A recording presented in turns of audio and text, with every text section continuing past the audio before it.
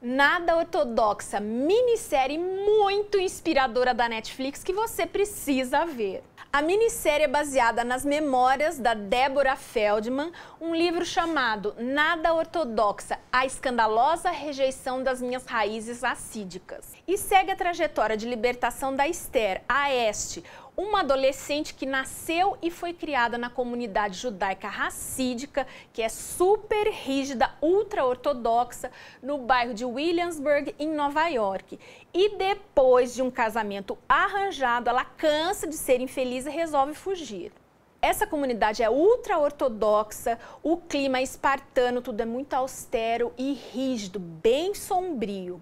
Ninguém tem internet ou celular, somente os homens podem ter celular e ir ao centro da cidade para trabalhar. Já as mulheres vivem naquele mundo pré-histórico, elas são vigiadas, vivem presas, só fazem, se vestem e casam com quem a comunidade decide. A opressão feminina é brutal, arrasadora. Para vocês terem uma ideia, as mulheres não podem estudar depois dos 17 anos. A Este estuda, faz aulas de piano escondida. As mulheres não podem ter vaidade, não são donas do próprio corpo e da própria vida. Uma opressão absurda.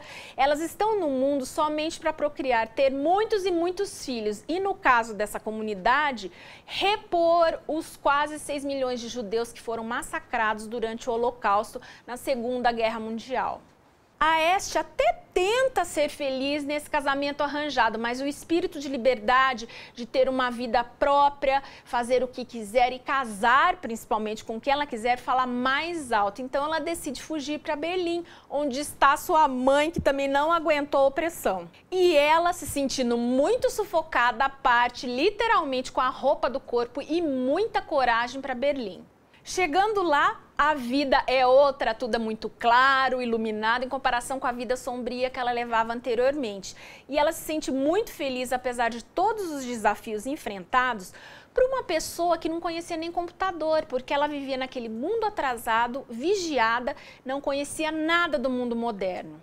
E nessa jornada de autodescoberta, a Este ela enfrenta vários conflitos entre a gana, a vontade de ser livre e ter uma vida independente e os fantasmas dos seus antepassados, porque ela passeia por vários pontos de Berlim que são pontos emblemáticos na época do nazismo.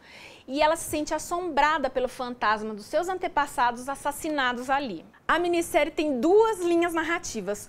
Uma é a do marido e primo da Este que vão até Berlim para resgatar a fugitiva, e a outra são os flashbacks do preparativo para o casamento, a vida de solteira de Esther.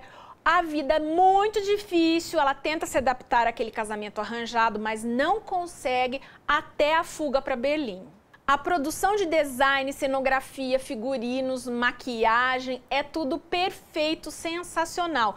E muito bacana também porque nos levam dentro dos costumes dessa comunidade, das cerimônias e tudo mais. A produção de design, os figurinos, cenografia, maquiagem são perfeitos, sensacionais e muito bacanas porque nos levam de perto a todos os costumes, os hábitos dessa comunidade judaica ultra-ortodoxa que costuma ser bem fechada, quase ninguém conhece os seus costumes e o seu dia a dia. Outro destaque curioso e bem inovador é que boa parte da minissérie é falada em Yiddish, que é um dialeto, uma língua judaica. Os personagens são muito carismáticos, o elenco é sensacional, especialmente a protagonista, a atriz Shira Haas, que vive a Este. Ela tá sensacional, ela chora pra caramba, demonstra muito conflito, angústia. A gente sofre com ela e torce por ela. A série procura não julgar ou ir contra a religião, essa vertente ultra-ortodoxa do judaísmo. Ela mostra como são seus hábitos e costumes pelo olhar da Este, que tentou, tentou, mas não conseguiu viver nela. Porque, afinal de contas, vertentes ultra-ortodoxas, rígidas, muito espartanas, não existem só na religião judaica, existem várias religiões.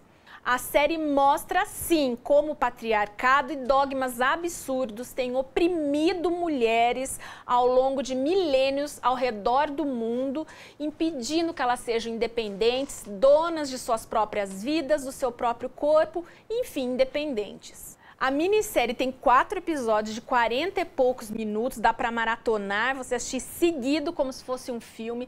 E tem também um mini documentário com os bastidores, muito interessante. Tem inclusive uma entrevista com a verdadeira Este, a Débora Feldman, que eu também recomendo muito. Nada Ortodoxa é uma minissérie da Netflix, uma minissérie inspiradora, uma história linda de liberdade, determinação e coragem. Coloca lá na sua lista que você vai amar. O Pipoca de hoje fica por aqui. Se inscreva no canal, deixe seu like, seu comentário. Toda semana tem vídeo novo. Um beijo e até o próximo.